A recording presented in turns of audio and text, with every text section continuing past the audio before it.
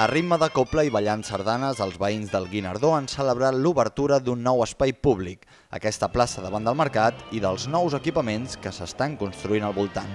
La nova urbanització permet guanyar cohesió urbana, crear nuclis de centralitat al barri i millorar la mobilitat. A més, dona resposta a una vella reivindicació veïnal. Teníem aquí un, un espai completament degradat i es va demanar pues, que s'hi posessin tota una sèrie d'equipaments.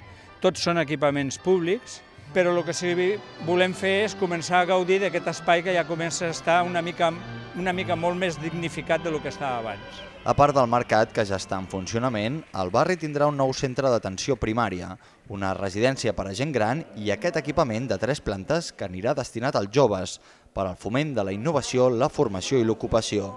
Al llarg de matí els veïns l'han pogut visitar. Es preveu que estarà llest cap a finals d'aquest any i a la nova illa d'equipaments del Guinardó també s'inclou un aparcament amb 159 places i s'està construint una escola bressol que donarà al barri 94 places noves.